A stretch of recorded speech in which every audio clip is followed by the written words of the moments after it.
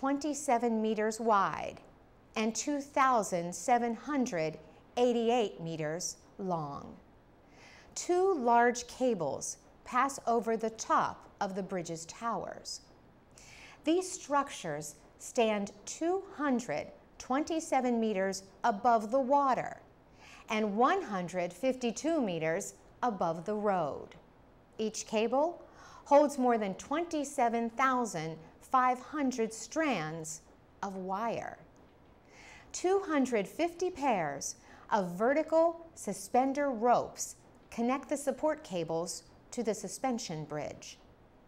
This is part of what enables the bridge to move up and down by nearly five meters. The project took four years to complete. Work began in 1933. The Golden Gate Bridge weighed more than 800,000 metric tons when it was completed. The San Francisco Chronicle newspaper called it a $35 million steel harp. Joseph Strauss was the chief engineer of the Golden Gate Bridge project.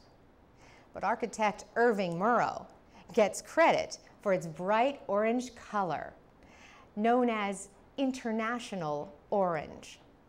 The Navy wanted the bridge painted in yellow and black. The Air Force had suggested red and white. But Mary Currie says Irving Morrow knew that orange would blend with the environment. It would contrast with the ocean and the air above. And it would also allow the Art Deco styling to really stand out. For VOA Special English, I'm Carolyn Presutti.